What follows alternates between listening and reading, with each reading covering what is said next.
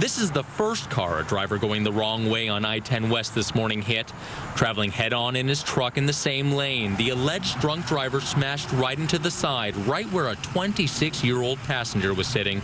She is in the hospital in serious condition. Police say the man was so drunk he couldn't remember the bar he came from. You know what? Unfortunately, I'm not surprised. Officer Doug Green says the SAPD gets one to two calls a week for drivers going the wrong way on San Antonio roads. Most times they're never caught.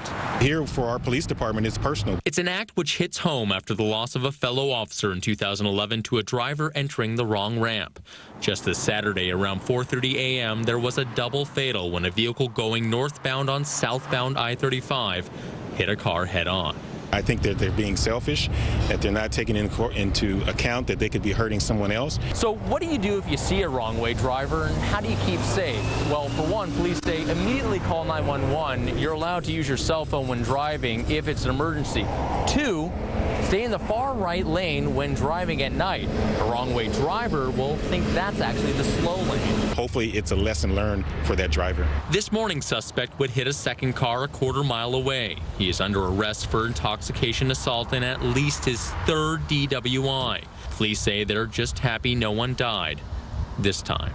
Josh Skurnik, KSAT 12 News.